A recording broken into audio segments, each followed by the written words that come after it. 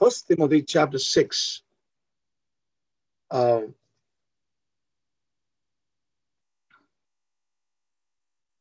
First Timothy chapter 6. There's so much there, but I would just read uh, um, verse 6. First Timothy 6 6. Godliness with contentment is great gain. For we brought nothing into this world, and it is certain we can carry nothing out. And having food, raiment, let us be therewith content. But they that will be rich fall into temptation and a snare and into many foolish and hurtful lusts, which drown men in distraction and perdition. For the love of money is the root of all evil, which while some have coveted after, they have erred from the faith and pierced themselves through many sorrows. But thou, O man of God, flee these things and follow after righteousness, godliness, faith, love, patience, meekness. And then he goes on to say, fight the good fight of faith, lay hold on eternal life, whereunto thou art also called, and has professed a good profession before many witnesses. Now, there are lots of things here, but my attention was drawn to the scripture here in verse 6. But godliness with contentment is great gain. Godliness with contentment is great gain. You know, uh, when we turn to the book of Psalm 37, uh, I'd like to just read, if you don't mind, just before we turn to Psalm 37, I would like to just read this scripture uh, of First uh, Timothy from uh, the Amplified Bible. Uh, yeah, do not fret or have any anxiety about anything, but in every circumstance, in everything, by prayer and petition. Uh, sorry, I'm reading a wrong scripture. Uh, hmm.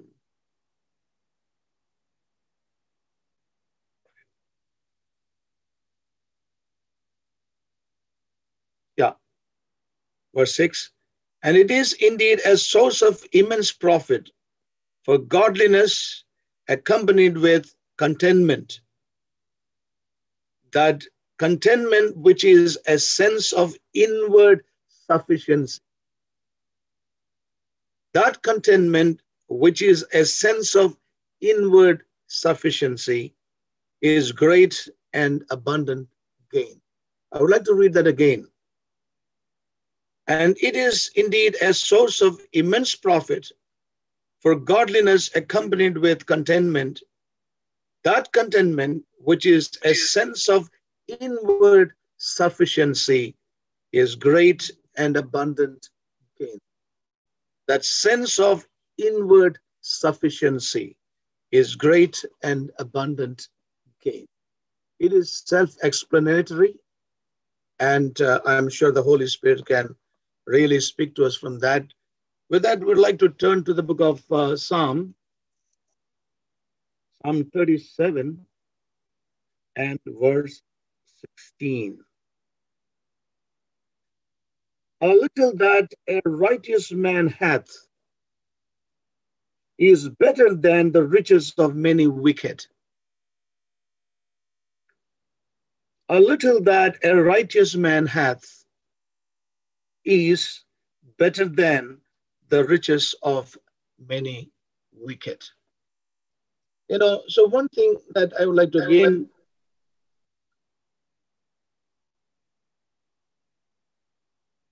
I'd like to read from uh, the Amplify, the same portion.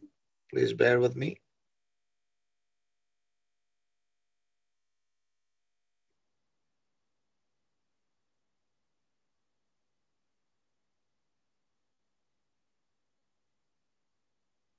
Yes. Better is the little that the uncompromisingly righteous have Better is the little that the uncompromisingly righteous have than the abundance of possessions of many who are wrong and wicked. Of many who are wrong and wicked. So, one thing I perceive from this scripture is uh, is also uh, let me just read from another translation. It is better to have little and be right than to have much and be wrong. Uh, that's New Century Version. Uh, I'd like to say one thing, one or two thoughts here. One thing I was able to perceive from uh, these scriptures was this that true godliness brings true contentment. You know, true godliness brings an inward sufficiency within us. And such ones live a life, you know, without fear and without tension and anxiety. Today in the world, we see many live with that kind of anxiety, tension, and fear. But when we have that inward sufficiency, you know, and the, and, and the secret, I believe, as I see the scripture is, you know, contentment comes from the principles of godliness. You know, just saying, you know, uh, contentment with godliness is a great gain as a scripture doesn't bring contentment. But contentment comes to us, or inward sufficiently, sufficiency comes to us by walking in the principles of godliness. You know, by walking in the principles of godliness.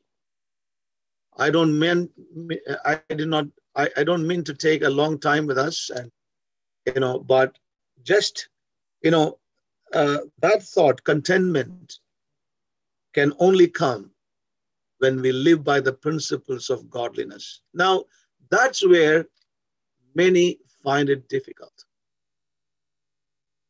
You know, we thank God for the testimony our brother shared you know, we are living in a world, as we have seen, it's uh, a world of materialism,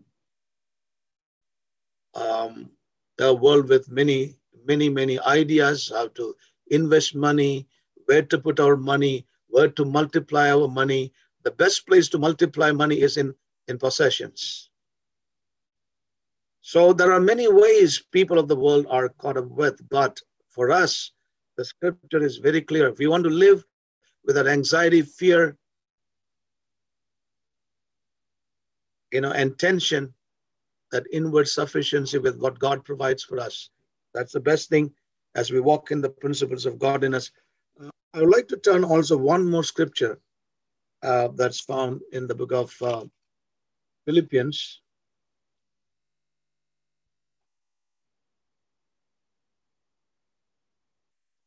Chapter 4, as I said, you know, that inward sufficiency comes by walking in the principles of godliness. And here is a great challenge from a man of God whose name is the Apostle Paul. And I would like to turn to Philippians chapter 4. As I said, the principles of godliness alone can bring contentment in anybody's life, in anyone's. And here is a verse that really challenges me and challenges all of us if you are really open to God. And um, so we would like to turn to that scripture in Philippians chapter 4, and I'm reading some verses 10 But I rejoiced in the Lord greatly that now at the last you care, your care of me hath flourished again, wherein ye were also careful, but ye lack opportunity. You lacked opportunity. But that I speak in respect of want, For I have learned in whatsoever state I am, therewith to be content. I know both how to be abased and I know how to be abound, how to abound. Everywhere and in all things, I'm instructed, I'm instructed, I'm instructed both to be full and to be hungry, both to abound and to suffer need. I can do all things through Christ, which strengtheneth me. How often people take only verse 13 and boast about what they can do. But Paul says that in the realm of a life of contentment. Verse 13 is many a time taken out of context. I can do all things, and do they want to do mighty things for God in the name of God? But Paul says that in the context of living a life of contentment, you know, walking in the principles of, you know, godly principles. And um, I would like to read that from another translation, which is very enlightening, uh, J.B. Phillips' translation to begin with. Uh, it has been a great joy to me that after all, this time you have shown such interest in my welfare. He's writing to the church in Philippi. I don't mean that you had forgotten me, but up till now, you had no opportunity of expressing your concern. Nor, nor do I mean that I have been in actual need. For I have learned to be content. I have learned to be content, whatever the circumstances may be. I know how to live when things are difficult. And I know how to live when things are prosperous. In general and in particular, I have learned the secret of facing either plenty or poverty. I am ready for anything through the strength of the one who lives within me. Now, this is what he says in the Amplified. So, as I said, contentment comes from, you know, living in the, the principles or walking in the principles of godliness. And here is a wonderful, tremendous, challenging example of the Apostle Paul himself. I would like to read uh, from another translation. One more translation.